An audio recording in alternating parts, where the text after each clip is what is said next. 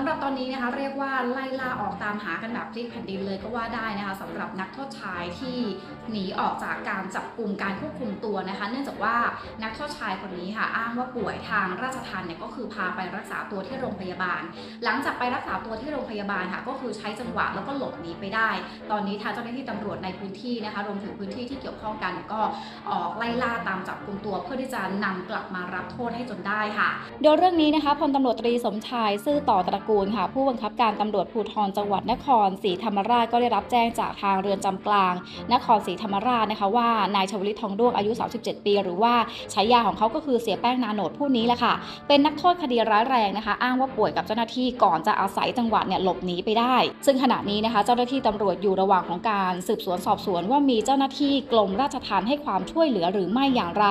โดยได้สอบปากคำเจ้าหน้าที่ที่เฝ้าเสียแป้งในขณะที่รักษาตัวอยู่ที่โรงพยาบาล แล้วก็สั่งการให้วางกำลังเจ้าหน้าที่ไล่ล่าคุมตัว นายชวลิตกลับมารับโทษต่อค่ะ พร้อมกันนี้นะคะ ทางกรมราชทัณฑ์ยังตั้งเงินรางวัลสูงถึง 1 0 0 0 0แบาทในการตามจับเสียแป้งทั้งนี้ค่ะหลังจากที่ตำรวจภูธรจังหวัดนครศรีธรรมราชแล้วก็ตำรวจภูธรจังหวัดพัทลุงนะคะ ได้ประสานงาน การปฏิบัติหน้าที่ในการไล่ล่าจับกลุ่มตัว เสียแป้งนาโนดมาอย่างต่อเนื่องค่ะ ขณะนี้ทางตำรวจทราบแล้วนะคะว่า ผู้ให้การช่วยเหลือพาหนีออกจากโรงพยาบาลนั้นเป็นใคร